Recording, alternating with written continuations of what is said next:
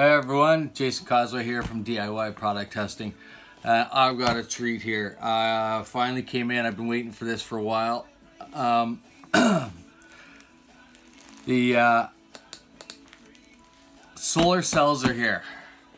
Um, now these are 90, 19.8% efficient and they put out 0.5 volts uh, per cell at 4.8 watts. So here, we'll open this package up and uh, see what we have. We picked up 35 cells. Okay, so it's come well packaged like that, which is smart. You know, you don't want them to break. They are wafers. And I will show you in a second after I open this up. So get that out of the way. And well, here we go. Now I've already opened these, checked them, uh, because on upon shipping, as soon as you receive them, you want to contact them in case there are any broken cells. Uh, you want to contact the company right away. But those are the cells right there. There's 35 of them, and they are wafer thin. So that's how thick the stack is. There's 35 cells there. Now, I'm not going to play with these ones and handle them too much because this is what I'm using to build my panel. Um, uh, what I'm doing is I'm actually taking a uh, old um, uh, uh, uh television uh, dish for your house and I'm taking it, getting that chrome um, car wrap and I'm going to line the dish in it and um, it'll come out nice and smooth. But because the dish is, desi is designed to send, uh, uh, is angled and designed to send the signal to uh, a single focal point. Oops, make sure these get back in there carefully. Designed to go into a single focal point, which is receiver on the end or the transponder. That's where I'm going to put one of these plates. Got to be careful though with the temperature because these can only handle up to 80 degrees Celsius. Uh, but they can go down to minus 40, which is nice as well. So that's those are these are just plain cells. There's no glass, no nothing. Positive side is on the back, negative is on the on the blue. Um, so here I'll show you because I pulled these out. So these are uh, photo of, of, of Vitalik uh, mono cells the grade panel v, uh, PV silica cell.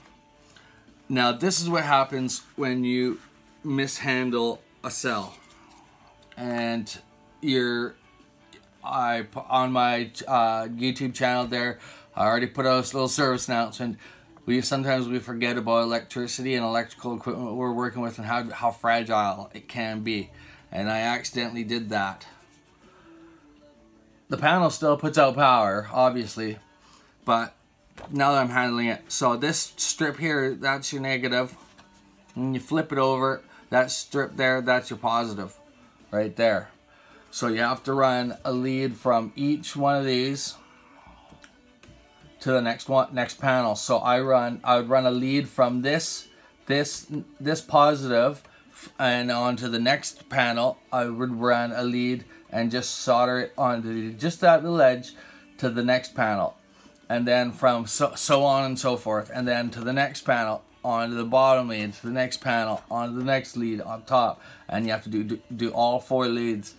And then when you do, as you're doing this it's best obviously I'm gonna have to have uh, a UV ray UV uh, protective uh, glass um, there's a, a couple different materials you can use um, that you use for shielding in front of the, in front of these. Um, I'm gonna try a couple different out to see what works best.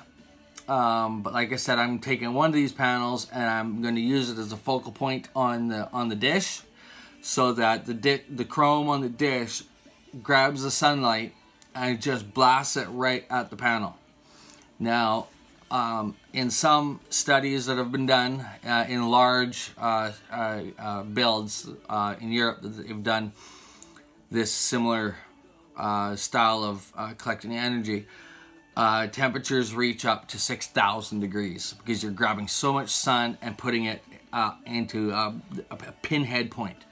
Um, it's like when you're a kid and you take a magnifying glass and burn burn ants, or I don't know what you used to do with the magnifying glass as a kid, but you could burn stuff with a magnifying glass. That's what you're doing. You're trying to get that little pinpoint, uh, a, a focus of sun, uh, and you want it directly in the center of the cell. Um, but because of temperature reasons, I can only go to 80 degrees. Uh, I will have. I'm depending on what it could put, what the temperature uh, could reach. Uh, I might be able to not, I might not have to do anything. It might be able to handle it. But if not, I'll have to detune it. And that means uh, focusing the cell inwards a bit more and widening the uh, the sun uh, the sun's um, uh, point point point of um, um, origin. so so just bring the cell in closer to the uh, dish, widening this uh, the the sun so it fills the entire cell, and it'll also drop the temp drop the temperature on that as well. So, but yeah, that's just a mistake playing around. You know, not just hey, uh, oh yeah, I'm so used to playing with electricity, and you know, it's uh, you forget some. Not not that these are dangerous, but uh, and don't forget DC uh, voltage is dangerous. So don't don't think I th I'm saying DC voltage isn't dangerous and AC is isn't dangerous. They're both dangerous, but it's just uh, equipment too. I'm talking more or less equipment. Uh, some of our equipment is fragile, so as you can see, I broke it, and it's. I'll just take this little chip and I'll show you how easily it just snaps just like that. It's no pressure at all. So that's uh, that's what happens there. Anyway, this is Jason Causeway from uh, DIY product testing coming at you with um, the solar cells. Anyway, if you guys have any uh, questions or comments, please subscribe and like my channel. And um, yeah, hopefully we'll see you in the next next one. We got a lot more products coming, so love you guys and uh, take care. Bye for now.